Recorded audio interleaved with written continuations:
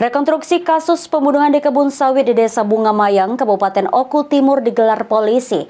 Rekonstruksi diperagakan langsung oleh tersangka.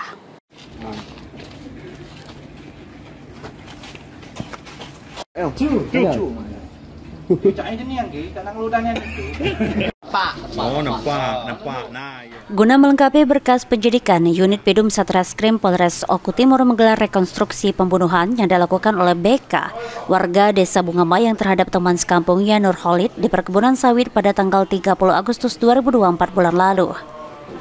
Di hadapan penyidik dan anggota dari Kejaksaan Negeri Oku Timur dari 22 adegan yang diperankan langsung oleh pelaku dan korban yang diperankan oleh salah satu anggota Satreskrim Polres Oku Timur.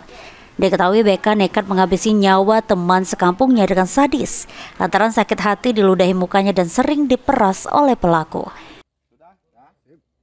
Dalam rekonstruksi ini ada 22 adegan. Sehingga di dalam adegan itu terungkap siapa, bagaimana, dengan cara apa, menggunakan alat apa pelaku membunuh korban.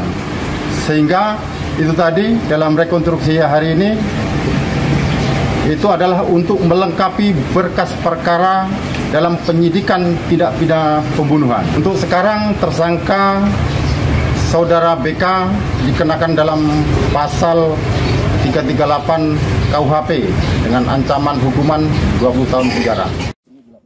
Atas perbuatannya BK dijerat dengan pasal 338 KUHP tentang pembunuhan dengan ancaman hukuman 20 tahun hukuman penjara. Elvandri Japriyadi, Pal TV.